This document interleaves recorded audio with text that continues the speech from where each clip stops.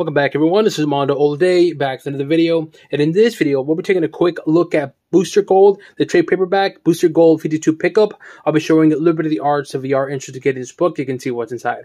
So let's take a look at front of the book, the spine, the back, and I'll show you a full spread image of the art.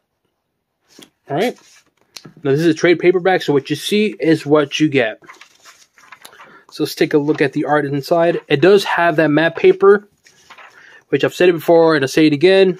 It's unfortunate because some of the art on here actually will benefit from the glossy paper. But for this particular story and art, I think the matte paper is fine. And I'll be doing an overview of this book, so make sure you subscribe to my channel so you can see if it's actually worth purchasing or not.